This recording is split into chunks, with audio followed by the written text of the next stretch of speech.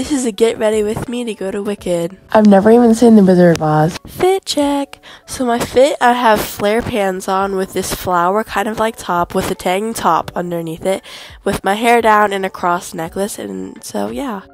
For makeup, I wanted to do this like green green-eyed eyeshadow look, but it didn't work out, so I just ended up doing contour and mascara, then my hair, and then I put some rings on and bracelets. Time to put my boots on. Alright, here I am. Pink Berry Clouds perfume from Bath Body Works.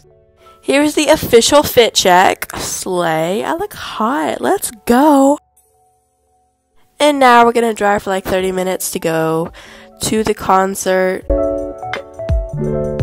We're in the car. Me and my dad are so excited.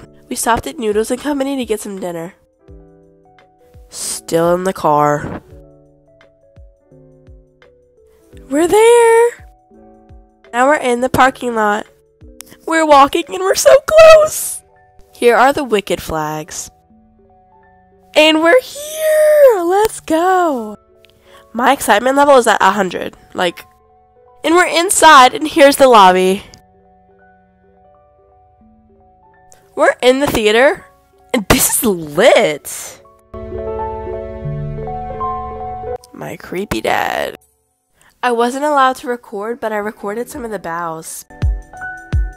This show was so amazing to see in person. I highly recommend seeing it. It was $250 per ticket, but it was the acting was amazing and the singing was even even more incredible. Like it was so well laid out and the set was absolutely out of this world. It was such a good experience. 10 out of 10. Highly recommend.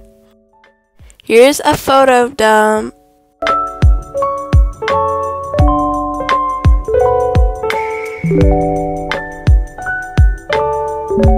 I bought this bag and I bought this book, and the book is really good. And that's it. I love Wicked.